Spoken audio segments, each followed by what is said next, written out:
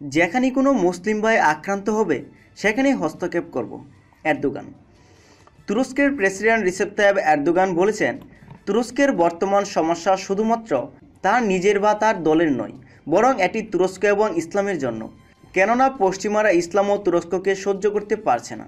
মালা জগৃতির যুদ্ধে জয়ের নয়শো সাতচল্লিশতম বর্ষপ্রতি অনুষ্ঠানে দেশটির পূর্বাঞ্চল মুছে দেওয়া এক ভাষণে এরদোগান বলেন তুরস্কের নিরাপত্তা শুধুমাত্র এর সীমান্ত রক্ষা করার জন্য নয়, বরং বিশ্বের যে প্রান্তে কোনো ভাই আক্রান্ত হবে, সেখানে তুরস্কের নিরাপত্তা পৌঁছাবে।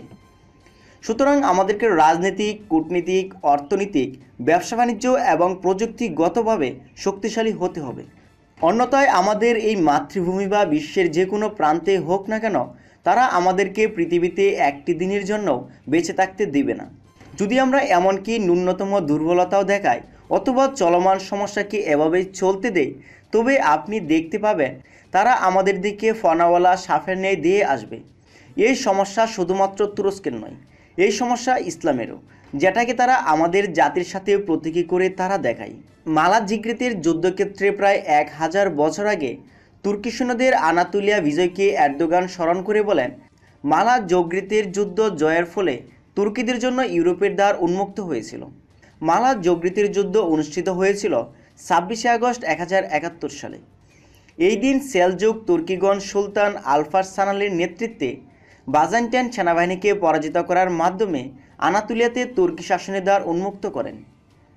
আনাতুলিয়াকে মানবজাতির জন্য ভবিষ্যৎ বলে উল্লেখ করে এরদোগান বলেন, যদি আনাতুলিয়ার পরাজয় হয়, তবে মধ্যপ্রাচ্য, আফ্রিকা, এশিয়া বলকান এবং ককেশাস অঞ্চলে অস্তিত্ব থাকবে না। আমরা শুধুমাত্র মালাজগৃতির যুদ্ধে জয়ী হয়নি, বরং আমরা কোনো জাতি বা বিশ্ববাসীকে এটা দেখিয়ে দিয়েছি?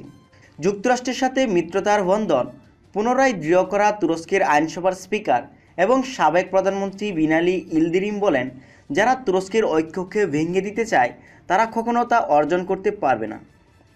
তুরস্কের অর্থনীতির উপর আক্রমণ করে তারা কোনো ফল লাভ করতে পারবে না, এবং ভবিষ্যতেও তারা তা অর্জন করতে পারবে না। ওয়াশিংটনের প্রতি ইঙ্গিত দিয়ে তিনি দুই দেশের সম্পর্ককে পুনরায় দৃঢ় করার জন্য নতুন পদক্ষেপ নেওয়ার আহ্বান জানান।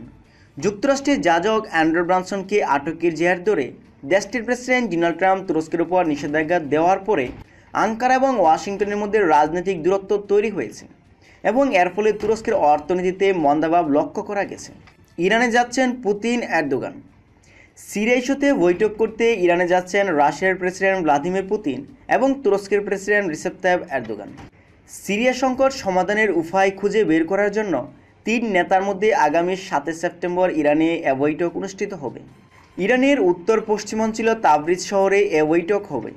এর আগে তিন প্রেসিডেন্ট রাশিয়ার সুচি শহরে এবং তুরস্কের রাজধানী আঙ্কারায় বৈঠক করেছেন। এসব বৈঠক থেকে তিন প্রেসিডেন্ট সিরিয়ায় শান্তি ও স্থিতিশীলতা প্রতিষ্ঠার বিষয়ে তাদের প্রতিশ্রুতি ব্যক্ত করেন। এছাড়া সিরিয়ায় টেকসই যুদ্ধবিরতি কার্যকর করার বিষয়েও তিন নেতা অঙ্গীকার ব্যক্ত করেন।